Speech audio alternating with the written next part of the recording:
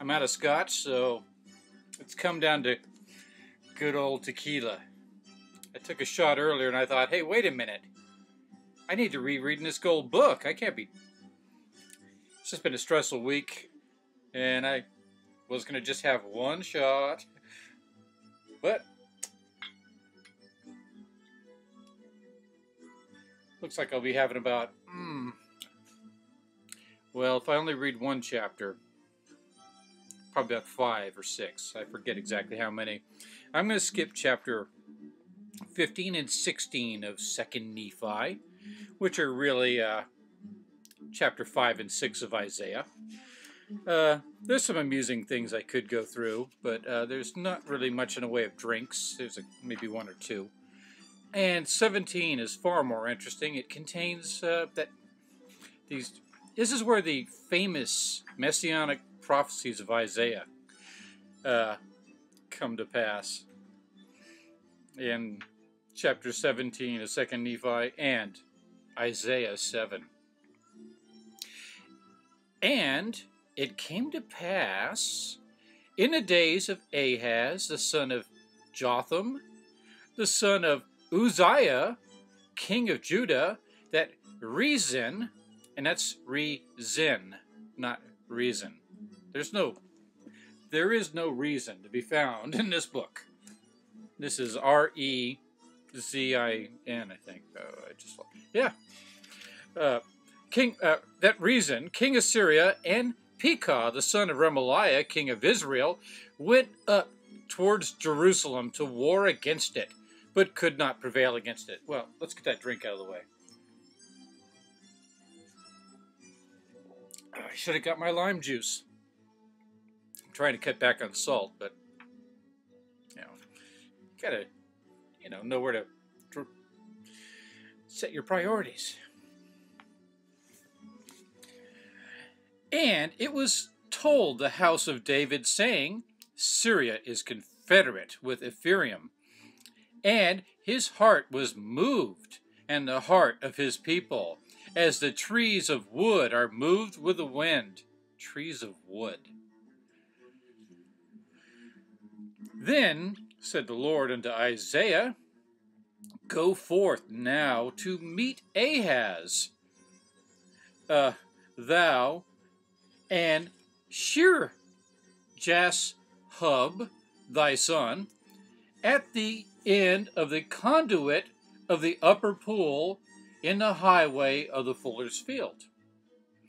And say unto him, Take heed, and be quiet, fear not, neither be faint hearted. For the this is to Ahaz, king of uh, uh, king of the Jews, Ahaz.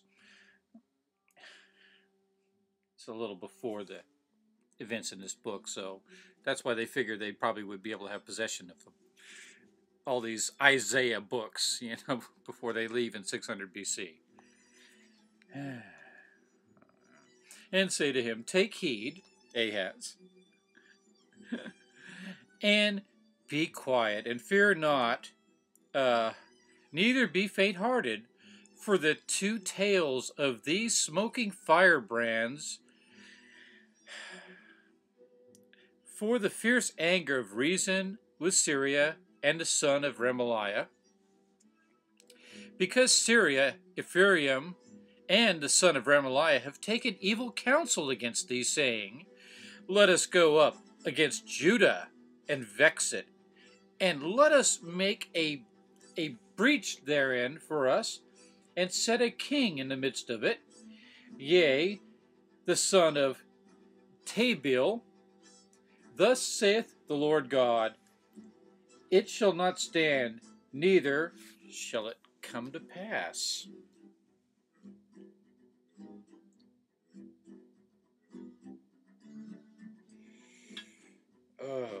I might be waking up late tomorrow.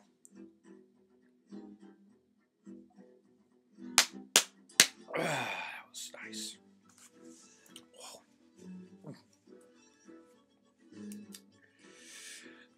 For the head of Syria is Damascus, and the head of Damascus is Rezin. and wherein eh, within and within three score and five years shall Ephraim be broken, that it uh, be not a people. And the head of Ephraim is Samaria, and the head of Samaria is Remaliah, son. Yea, ye, uh, if ye will not believe, surely ye shall not be established. Because, I mean, they're going to be gone in what? Um, 65 years. Don't worry about it. But that's kind of interesting. All right, so this prophecy comes to pass in 65 years. I guess. Jesus shows up what, 600 years later? More than that. It was about him. It's all about him. Praise him.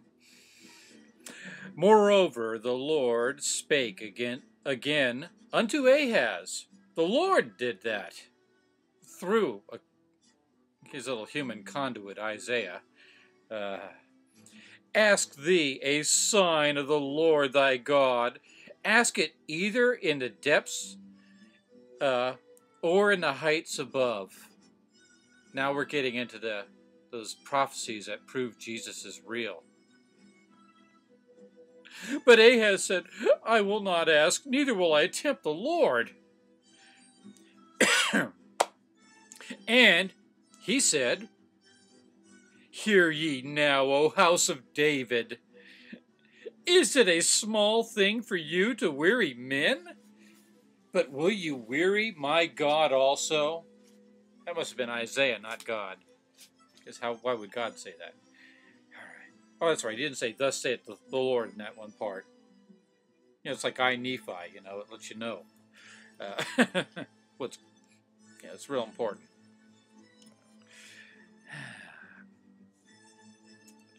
Therefore, the Lord uh, Himself shall give you a sign.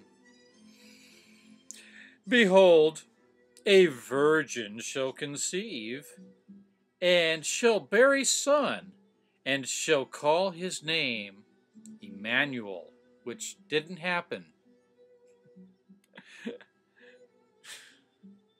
butter and honey shall he eat. Was that really what happened with Jesus? Did he just eat butter and honey?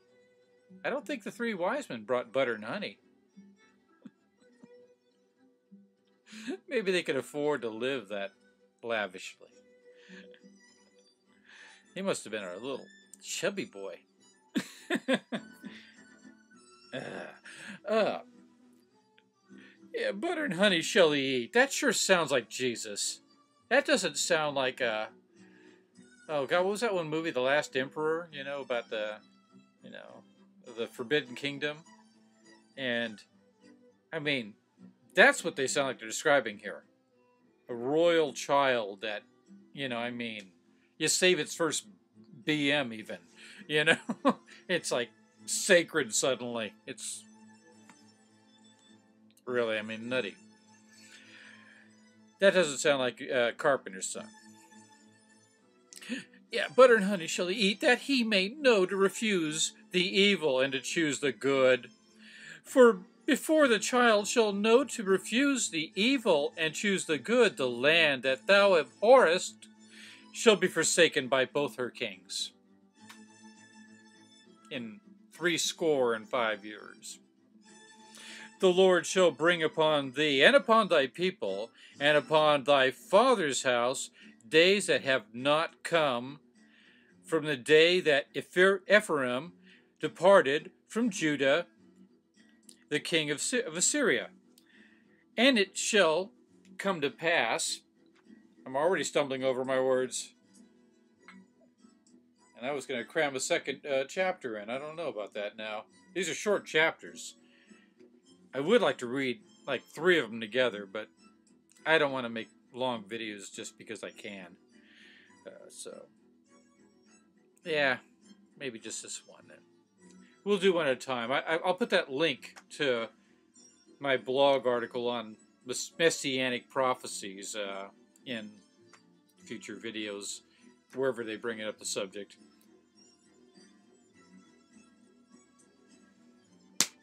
Oh, whoa. That ain't scotch. Whoa. Whew. All right.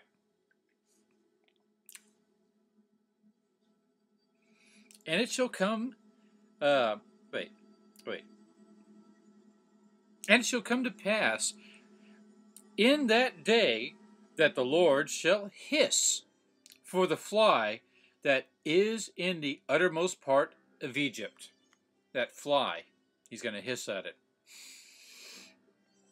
And for the bee that is in the land of Assyria. So he's got a problem with flies and bees.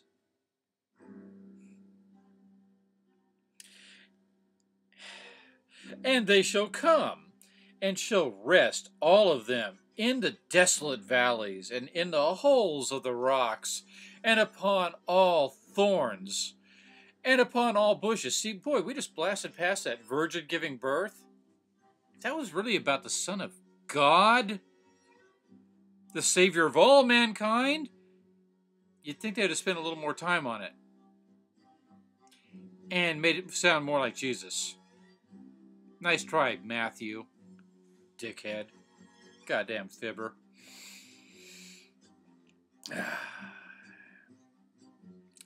In that same day shall the Lord shave with a razor that is hired. So he's going to get a barber. Okay. By them beyond the river, he's going to hire a barber beyond the river. By the king of Assyria. The king of Assyria is your barber? I'm just fucking around. Just having, just getting rid of the week. Onto the weekend. The head and the hair of the feet. What are you, a hobbit? and it shall also consume the beard. That razor. It's all right. Damn. So Isaiah started this whole thing. I should have changed this to the Isaiah drinking game. It would have been a lot less typing. And probably more accurate. I mean, this whole book is just a total imitation of Isaiah. Biatches. I found you out.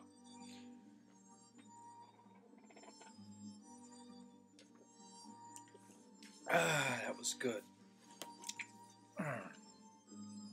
And it shall come to pass in that day a man shall nourish a young cow and two sheep. This sounds so like Monty Python's meaning of life.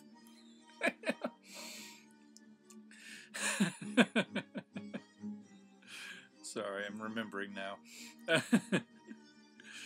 uh, it, God damn, I can't do another chapter if it's going to be like this.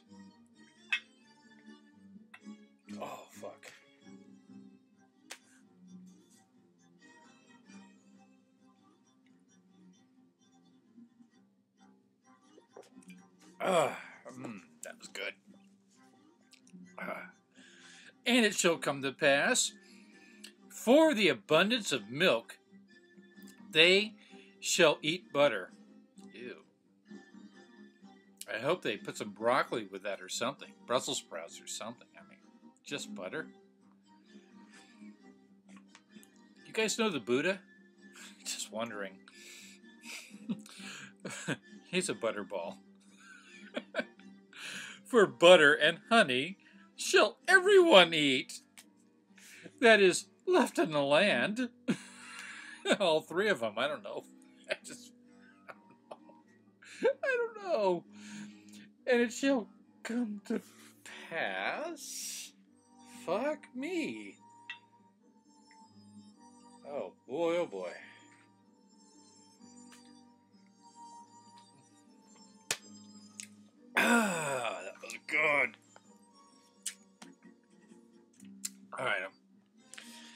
And it shall come to pass in that day, every place shall be where there were a thousand vines and a thousand silverlings,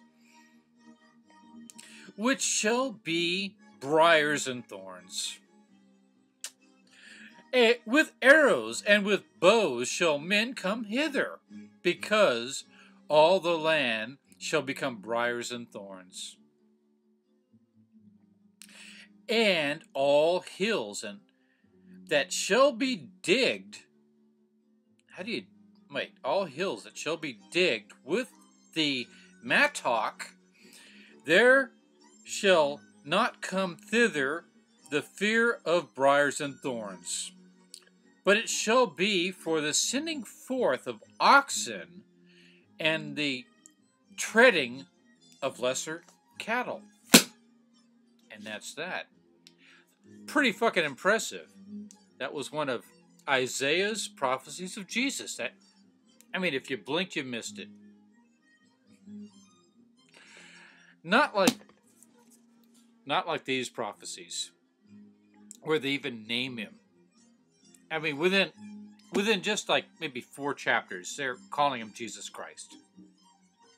They they they an angel whispered into Jacob's ear, the this Jacob, not the real Jacob, if he was real. His ear, they told, whispered the name Christ just a few chapters ago or so. And like I said, within at least five chapters, they're calling him Jesus Christ. Because Nephi had to top his uh, younger brother who came up with Christ. And he's the one who found out Jesus. Don't you believe it? Don't you believe it? Okay, I'll see you in uh, chapter 18 where there's more Isaiah ripped off and more messianic prophecies that are, are a mess and don't sound like they have anything to do with JC. So, I hope you enjoyed this as much as I did. Peace out and have a wonderful.